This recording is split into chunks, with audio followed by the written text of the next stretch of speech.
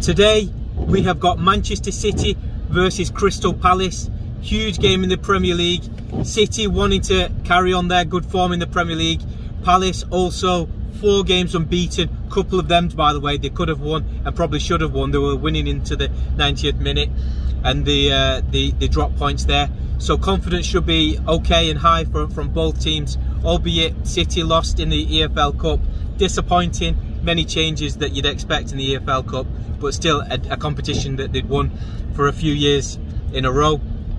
I'm expecting Palace to, to have more of the ball than usual. It seems to be a Patrick Vieira style to retain the ball, to move the ball quickly. Some exciting plays that I'm really looking forward to seeing. Um, Zaha, as usual, Benteke back in the goals. Gallagher on loan from Chelsea looks a real quality player. So they uh, they they have some some real good talent. I'd expect them to be fearless against City, if you can say that. City are going to do the usual thing. My theory, Phil Foden is better than Lionel Messi. There you go, clip that. I, I actually think that this boy has everything now, not just a, as a prospect. Then you've got on the other side, you've got Jack Grealish, hundred million pound footballer. Really looking forward to seeing seeing him in action again today. Big crowd. We're about 10 minutes away. Seat selection, by the way, we're next to the away fans, so we want to capture all of the atmosphere. So uh, it should be a good one. It's raining and the sun is shining. Only in Manchester. Let's have it. Come on.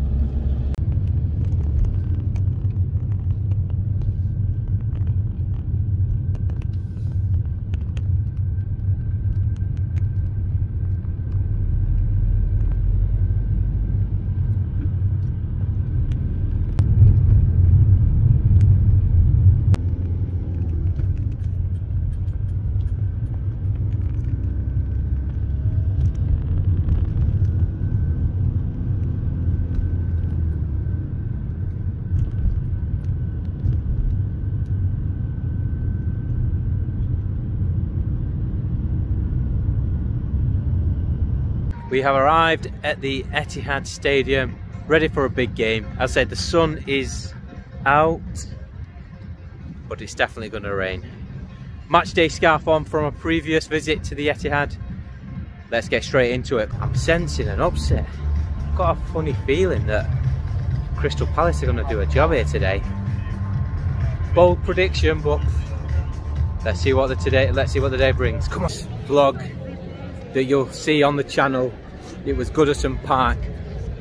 Great game, great atmosphere, but the stark contrast between the actual what goes on around the stadium. Over there, it's very traditional. Same from the one from the week before at Villa Park. You've got traditional grounds, street, roads, houses next to the ground. Here, completely different story.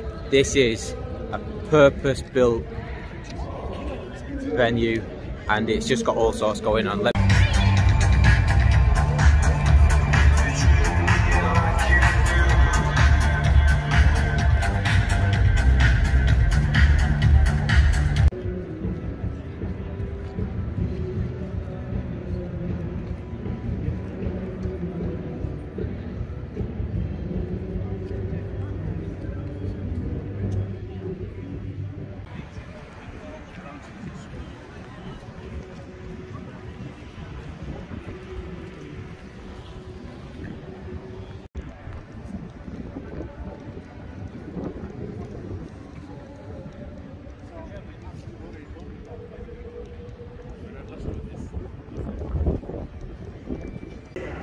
Without going to the hospital. Um, I went in February, um, and then I went through therapy.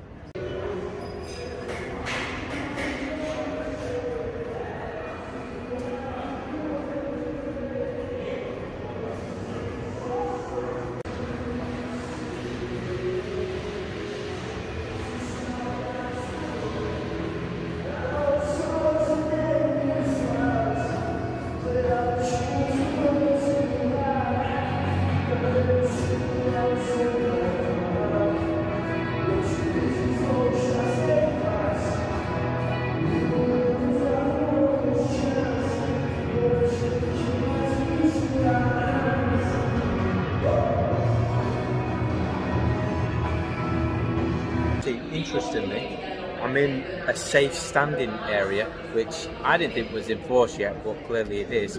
Take a look at this. So you've got rails all in this section. Away fans up in that area. You can clearly see the dugout area there. And uh, the rest of the stadium that will hopefully be uh, full today. But